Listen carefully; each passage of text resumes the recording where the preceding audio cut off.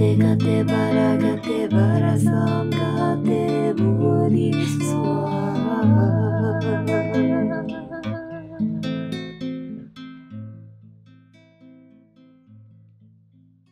ta có cơ hội để đi ra ngồi thiền ở dưới biển.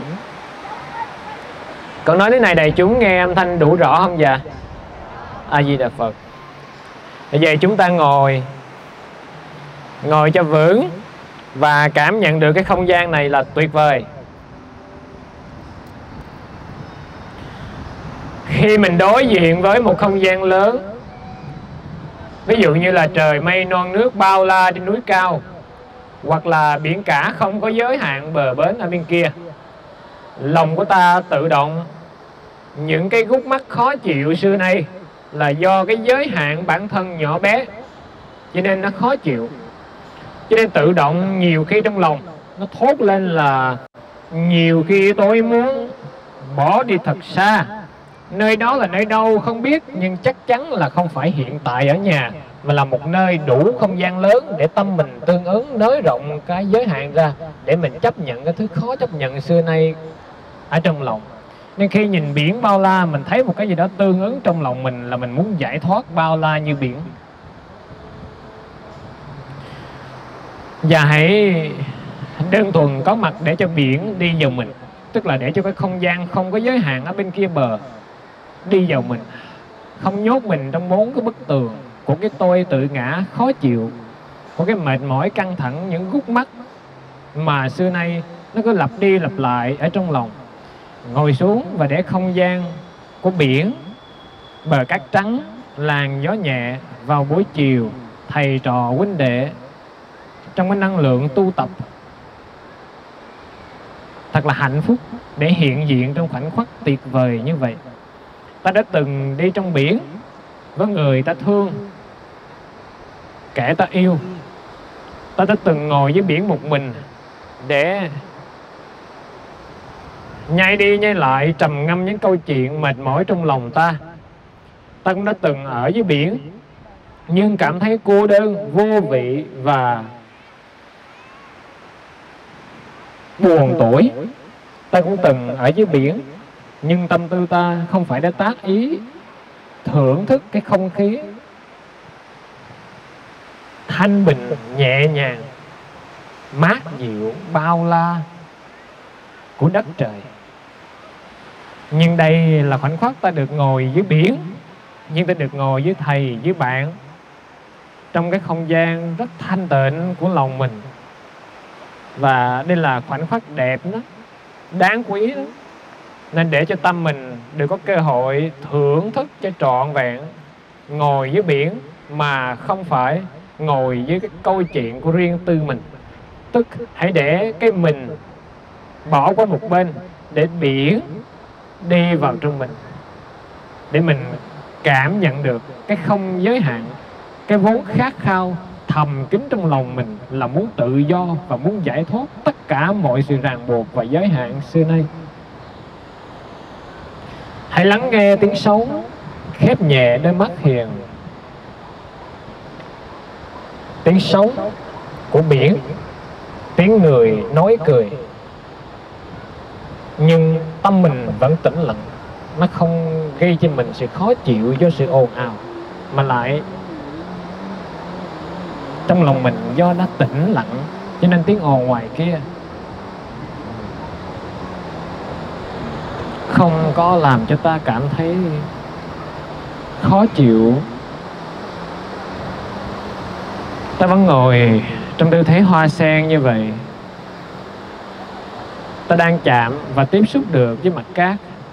Ta ý thức được mình đang hiện hữu trong khoảnh khắc hiện tại đang cảm nhận được cái mát dịu nhẹ nhàng.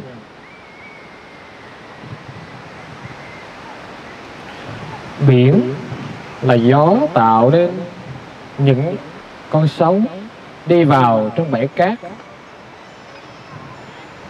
Ta đang hiện hữu trong một không gian tĩnh lặng và yên bình trong lòng mình. Ta đang ngồi trên cát, nơi có thể một con sóng xóa nhòa đi tất cả. Và ngồi đây yên lành, ta không nguyện tìm lại tên gọi của một ai. Không tìm cái tên của một người xưa ghi trên cát nữa. Vì những gì trên cát sẽ bị sóng biển cuốn trôi đi. Và hãy thả lòng mình ra cho tất cả những gì quá khứ ghi lên trên bãi cát để cho biển đại dương về thành một con sóng cuốn một lần để cho bãi cát sạch trong. Hãy thấy tâm mình là bãi cát trắng, đừng để nhạt nhòa những quá khứ lưu dấu nào. Tâm như một bãi cát trắng, đẹp phẳng lì, yên ắng.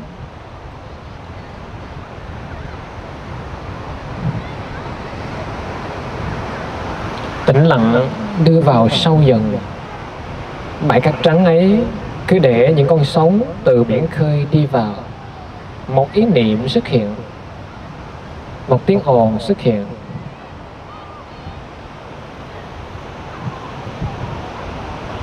Và sau đó là một sự nhận biết một cái thấy ghi nhận, cảm thọ hay suy nghĩ đó. Đó chính là một con sóng đi vào trong bãi cát, xóa sạch những cái dấu vết của si tư, những cái sự hằng học, khó chịu của cảm xúc. Hãy cho phép mỗi khoảnh khắc hiện tại như là mỗi con sóng mới đi vào và xóa sạch những kỷ niệm, những ký ức, những khúc mắc, những nội kết ở trong lòng mình chỉ cần, đừng có tạo ra chướng ngại. Đừng có kháng cự con sống. Hãy cứ để nó tự nhiên đi vào trong lòng mình, cho nó xóa sạch, cuốn trôi đi tất cả những gì mình ghi ở trên cát. Hãy để hận thù khó chịu ghi trên cát, cho con sống đại dương vào và cuốn xa.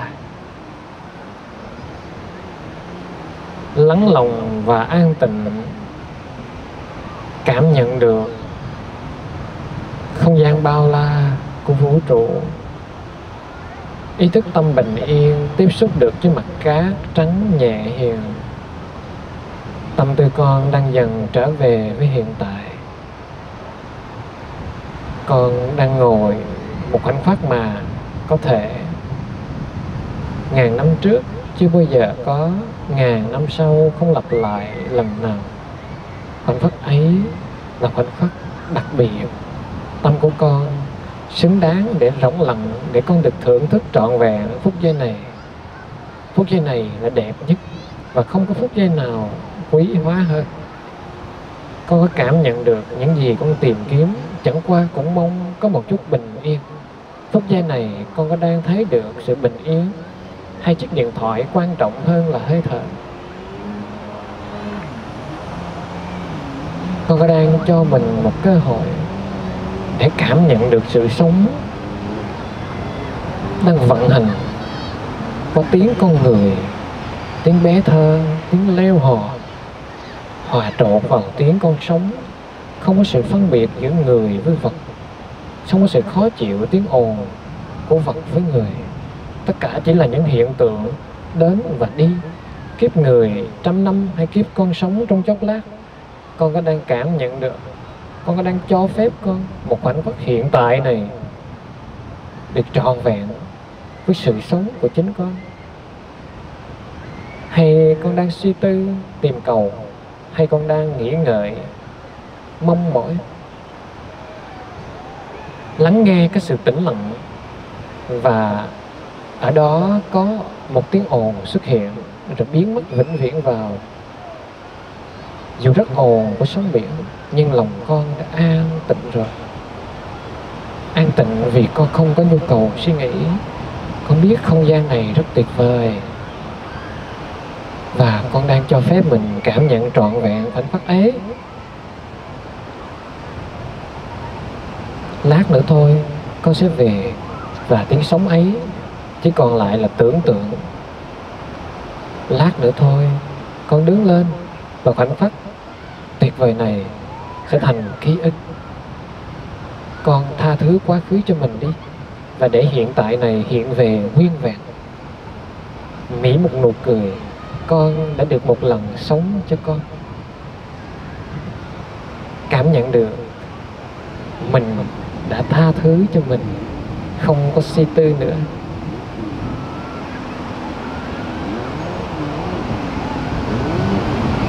Một khúc khác nhẹ ta hạnh phúc liền giây phút này.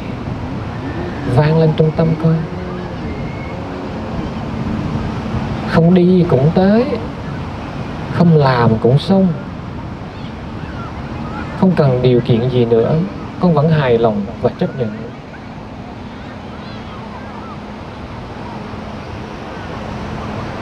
Con an trú sâu lắng vào lòng. Tiếng bé thơ. Tiếng máy mô tô. Tiếng sóng biển. Tiếng bên ngoài. Tiếng bên trong lòng của con. Tất cả mọi thứ tiếng chỉ là những hiện tượng âm thanh, con đều coi nó như nhau. Và con ở trong sự tĩnh lặng, ngắm nghía mọi âm thanh ấy cùng một lần mà không có khó chịu hay phán xét.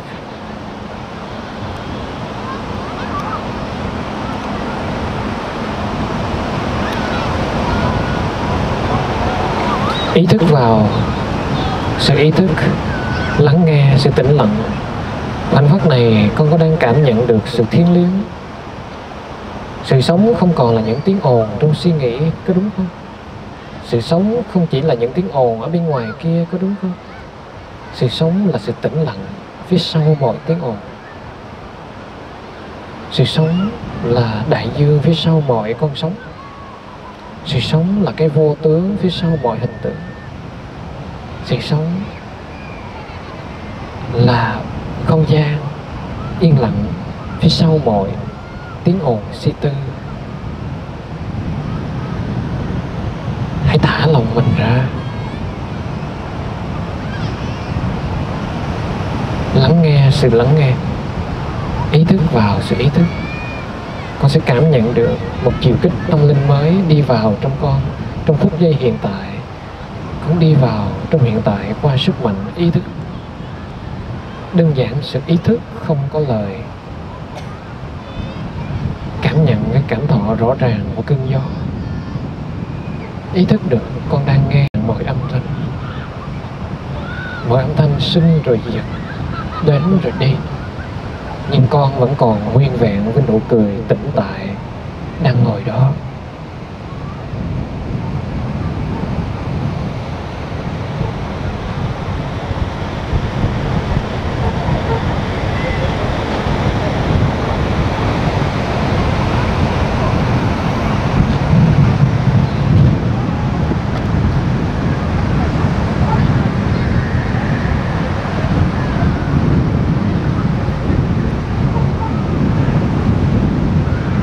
Kính thỉnh nhìn, con kính thỉnh đại chúng.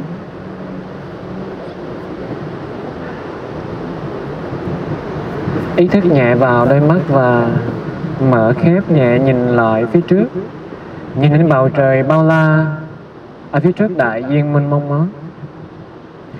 Thử nhìn đến bầu trời, chúng ta thấy không lúc nào mà trời không có mây. Trời quang mây tịnh thế nào thì cũng đôi đó, một gợn mây nhẹ. Nhìn những đại dương bao la không lúc nào mà lại không có sóng. Sống ít hay sống nhiều, lúc nào cũng có sóng. Biển tịnh cỡ nào, lúc nào cũng có gợn nhẹ những con sóng, xô vào bờ cát. Trên bầu trời cũng vậy, lúc nào cũng có một gợn mây.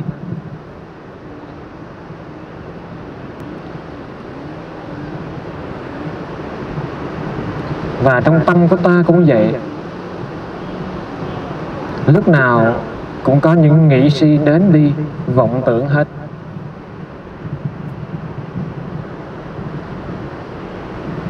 Nhưng nhìn mây ta không thấy khó chịu. Nhìn biển thấy sóng ta cũng không, không thấy khó chịu. Nhưng khi ngồi thiền xuống ta lại khó chịu với những suy tư trong lòng mình. Vì sao quý vị biết không? Bởi vì mình muốn loại trừ những cái vọng tưởng suy tư trong lòng đó. Cái cái mà nó không thể bị loại trừ được.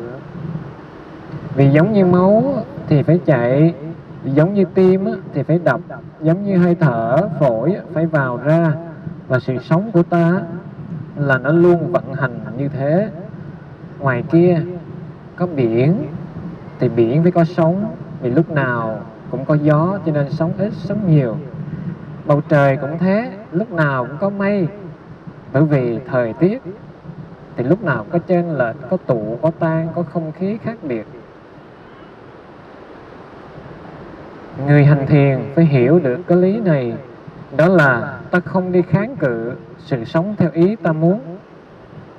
Ta không biểu tâm tư của mình vốn là những vọng niệm bị dẹp trừ theo cái ý thích của bản ngã tạo tác trong lòng ta. Ta chỉ cần bỏ đi cái ý niệm là muốn cho tâm mình tĩnh lặng, thì lập tức tâm mình tĩnh lặng, mặc dù những vọng tưởng vẫn còn đó biển chưa bao giờ tĩnh lặng, nhưng biển đã tĩnh lặng. Biển tĩnh lặng vì không phải không có sống mà vì những con sống không làm cho ta cảm thấy khó chịu. Tức ta không có kháng cự lại những con sống kia. Vì đời giống như biển, thế nào thì cũng phải có sống sống đây là mọi thứ giống như đến đi vô thường, đó là bản chất cuộc đời này vậy. Bản chất của biển là đến đi những con sống bản chất cuộc đời cũng đến đi những vô thường. Mình khổ đau là do mình kháng cự lại vô thường. Còn nếu mình thấy, mình hiểu, mình chấp nhận đời nó có đến có đi, có thương, có ghét có bắt đầu, có kết thúc, có chăm sóc, ngọt ngào, thì đến một lúc nào đó cũng nhàm chán, lìa xa nếu mình bắt mình bắt đầu hiểu được mọi thứ, chỉ là duyên sinh giả hợp, thì con sống đó, mình khỏi còn kháng cự loại trừ. Nó cũng tự động, nó đến rồi nó đi. Khi mình quan sát và mình thấy rõ được, rừng nhân duyên nó sinh diệt tự thân nó mà không cần một cái tôi tạo tác của mình chen vào, thì đám mây nó trở nên đẹp lắm và con sống cũng đẹp luôn nó không còn làm cho mình khó chịu bởi vì mình không có cái nhu cầu loại trừ, tiêu diệt nó nữa. Khi lòng của mình bỏ đi cái khát khao tạo tác, cái nhu cầu muốn đạt một cái gì phía trước kia, thì lúc đó tâm mình an tịnh. An tịnh tức là an tịnh lại cái nhu cầu tạo tác, dù đó là cái ham muốn được tịnh tâm. Chúng ta thử ngồi vững chãi và nhìn ra biển khơi, ý thức được mây vẫn có trên bầu trời, ý thức được sóng vẫn đến trên bãi cát, biển dường như động nhưng mà tâm mình vẫn tĩnh vì mình không có nhu cầu kháng cự lại với đại dương. Mình vẫn thấy được tâm mình vẫn có những đến đi suy nghĩ.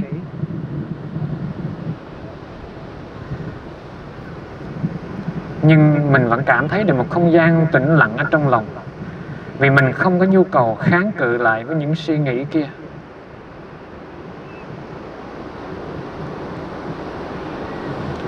Thử một lần chúng ta, ví dụ như lúc này, chúng ta quan sát nhé. Những con sóng đại dương nó ập vào trong biển cát đó. Những đứa bé chạy qua, những người lớn đi lại tiếng trẻ thơ hòa vào tiếng xấu ta chỉ cần ý thức đơn giản vào sự ý thức và ta quan sát. Ta ý thức vào sự quan sát luôn. Ta sẽ thấy được một chiều cách tâm linh khác lạ. Dường như phút, phút giây này rất là thật và lạ rất là mới mẻ mà ta chưa chạm vào bao giờ. Ta chỉ cần ý thức vào sự ý thức và lắng nghe sự tĩnh lặng phía sau mọi âm thanh, và ý thức vào cái không gian vô tướng của mọi hình tướng. Một chiều kích gọi là phương trời ngoại, ngoài cái không gian suy tư trong lòng, nó sẽ bắt đầu biểu hiện ra. Ta vẫn nhìn bầu trời bao la, trong đó có mây nhưng có cả không gian tĩnh lặng nữa. Và ta là không gian đó cho nên ta biết bầu trời đó, nó có những vần mây và vần mây kia đến và đi, không làm cho ta loạn động được. Ta biết ta là đại dương đó và những con sóng nhỏ nhoi kia không đủ sức mạnh để làm cho ta phải phiền hà. Ta biết ta là không gian ấy chứa cả biển và chứa cả bầu trời, chứa cả những con người, chứa cả những bé thơ, những người lớn, chứa cả cái sinh diệt, chứa cả cái hạnh phúc khổ đau chứa cả những niềm vui nỗi khổ. Và ta là một con người và đã trải qua tất cả những cung bậc cảm xúc, tất cả những cái được mất, vui, buồn, suy nghĩ, tiêu cực hay tích cực trong lòng mình. Ta là một con người, ta đã trải qua hết và ta vẫn còn nguyên vẹn, vững chãi ngồi đây. Và ta chấp nhận tất cả những điều hay, điều dở ta chỉ mỉ một nụ cười quan sát đời và không kháng cự loại trừ, không dính mắc tham lam, giống như ta đang ngồi đây vững chãi và quan sát những con sóng tạm bợ kia. Nó ùa đến. Hãy thấy nó ùa đến. Đừng sợ hãi. Đừng lo lắng. Nó đến. Và hãy quan sát nó đến. Tới cái điểm vừa bắt đầu cho đến khi nó đẩy vào và cho đến khi nó tan mất vào trong bờ cát trắng, nếu ta quan sát sinh diệt liên tục của một con sóng, ta sẽ hiểu được cái tuệ sinh diệt, một trong 16 cái tuệ của phép thiền tuệ Vipassana. Nhìn thẳng vào một con sóng thôi, ta sẽ thấy được nó bắt đầu ngấm ngầm dưới lòng đại dương. Nó xuất hiện thành một dạt bọt. Sóng trắng xóa đi vào trong bãi cát. Cái theo dõi hoài nó sẽ đẩy vào tới tận bãi cát và nó biến mất đi.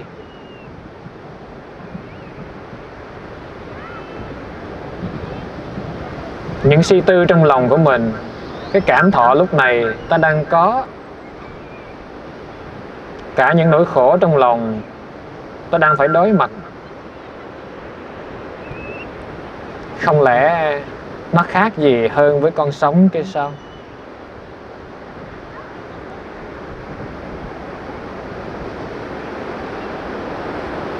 Ta quan sát lại trên bầu trời, ta cũng thấy những đám mây hồi nãy đã biến hình và còn lại những đám mây khác.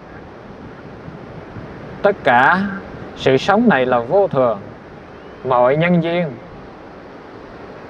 khi hội đủ, nó sẽ biểu hiện ra một hình tướng nhất định nào đó trong một khoảng thời gian rất ngắn ngủi. Và ta có đủ thời gian ngồi tĩnh lặng để quan sát sự thay đổi đó hay không? Cả một kiếp người trong một từng khoảnh khắc một, y chang như những con sóng này, nó liên tục thay đổi bất tận và không có sự dừng nghỉ. Đời là một dòng chảy bất tận, không dừng nghỉ ta có thấy và quan sát được sự vô thường, bất tận trong khoảnh khắc hiện tại này. Nếu ta thấy được, thì đời trở nên yểm ly vô cùng tận. Ta chán ngán, ta mệt mỏi với sự thay đổi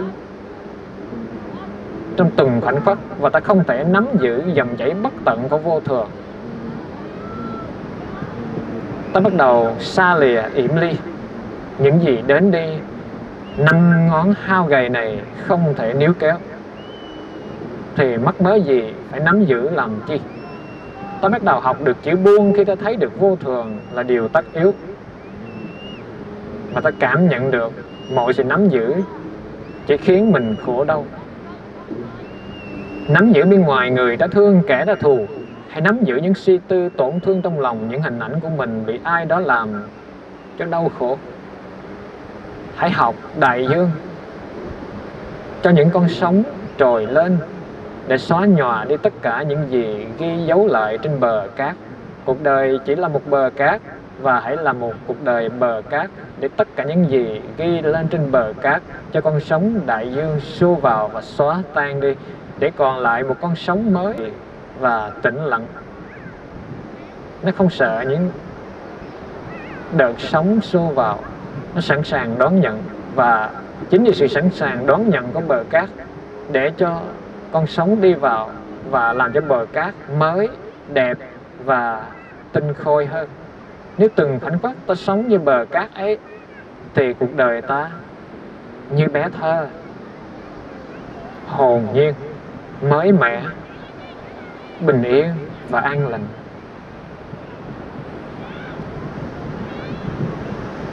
Một tâm hồn không lưu giữ những khoảnh khắc kỷ niệm của quá khứ không chắc chứa quá nhiều những dấu ấn của ngày xưa. Không tiếc nói và không đòi hỏi.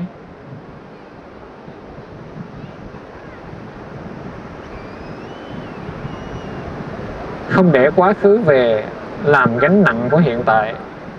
Đó là một người có cái tâm sống như cát. Bờ cát luôn trắng sạch, phẳng lì, không dấu vết. Và tâm của mình cũng hồn nhiên, nhẹ nhàng, cho nên mình bình yên và hạnh phúc. Nguyện tâm con như bãi cát, sống trọn vẹn mỗi phút giây, bây giờ và ở đây. Con hiện thân trọn vẹn, tinh khôi và mới mẻ. Con trở về với hiện tại, sống hết lòng và an trú. Không vấn vương ngày xưa, không lo lắng ngày nữa. Tâm con đã hài lòng. Trú ngụ trong từng phút giây tinh khôi và mới mẻ. Con lắng nghe tất cả những dấu ấn trong tâm. Trồi lên rồi trục xuống, đến đi tập vô thường. Con không cần nắm giữ, năm ngón tay hao gầy, buông đi và buông đi. Con tự do tự tại, đi ngang qua cuộc đời quan sát và thưởng thức với trí tuệ và từ bi bằng tình thương con quan sát. Ý thức được sự sống chỉ đơn thuần những con sống đến đi và tạm bợ. Không tiếc nói, không nắm giữ, không tìm cầu, không hướng tâm.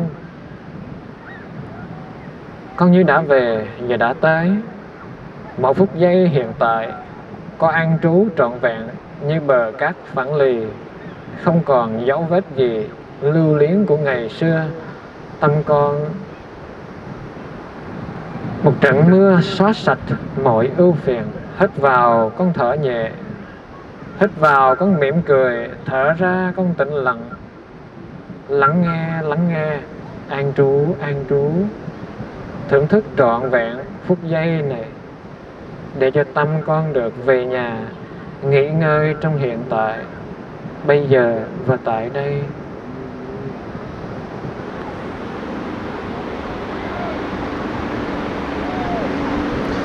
Ý thức vào khoảng 5 phút, an trú tâm mình trên một đối tượng, hoặc là con sống vô thường, hoặc là hơi thở vào ra, hoặc là a di hít đà phật thở. Coi thử khoảnh khắc này có đủ để làm cho mình thỏa mãn và an trú trên một đối tượng đề mục hay không nhé.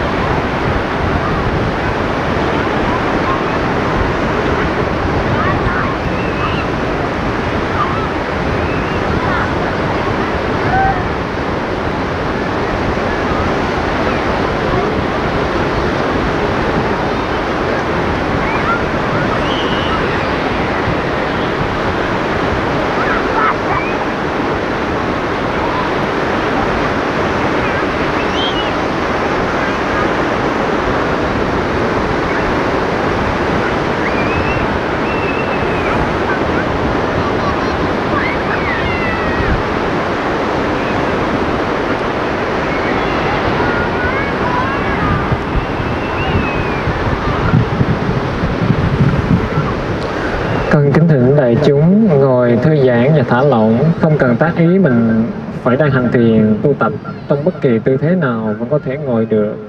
Hãy chạm tay với cát biết mình như là hột cát. Mình được làm từ cát và đất mẹ cho mình mượn cát trở thành con người và mình trở về với cát mình cách tiếp xúc lại. Hốt một nắm cát ở trên tay.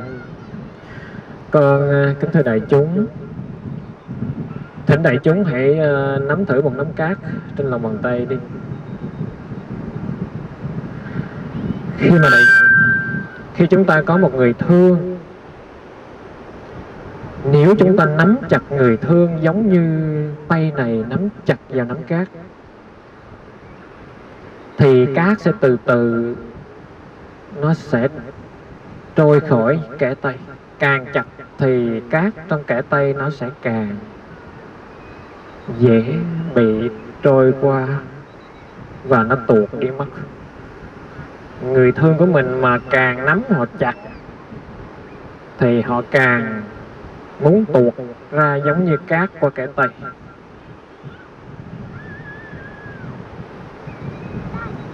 bởi vì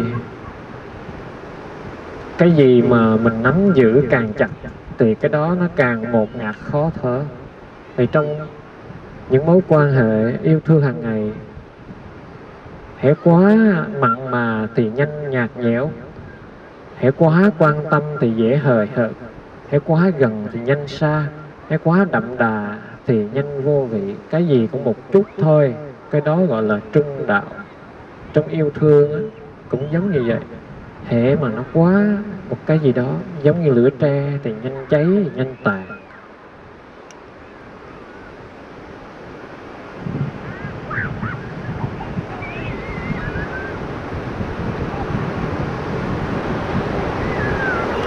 Và để cho mình sống mà nó nhẹ nhàng cái gì cũng một chút mà không có quá mức. Thì đó là đời sống của một người hiểu đạo.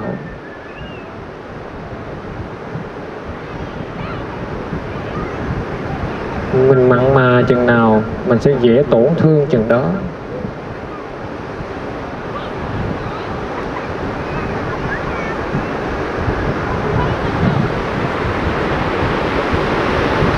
Khi mình tổn thương á, mình sẽ làm cho người khác tổn thương theo.